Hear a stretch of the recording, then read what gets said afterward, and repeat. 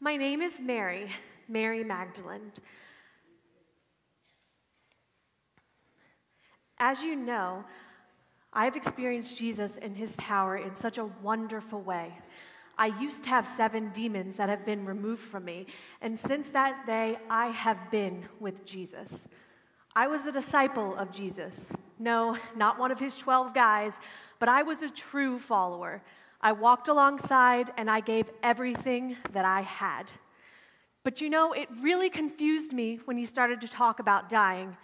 And yes, then he was killed. I could not believe that they could do such a horrible thing to a man who was so kind, so helpful, who had even saved my own life.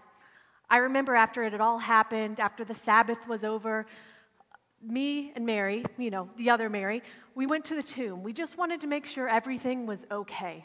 We brought spices. We wanted to anoint Jesus' body. On the road there, um, everything was kind of quiet, not a lot of talking on the way there. But we did begin to wonder who of us was going to roll away the stone. It was too heavy for us all put together.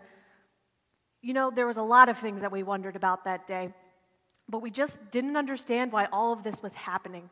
But when we got there, there was an earthquake and an angel, and man, were we scared.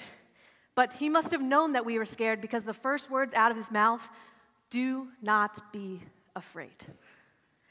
And what he said next, I will never forget. He said, Come and see.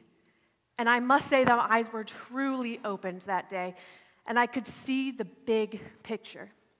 Sure, I believed in Jesus, I experienced Jesus, and I even followed Jesus, but what happened that day made it, made it even more real and true. He was alive. I have seen it, and it is true.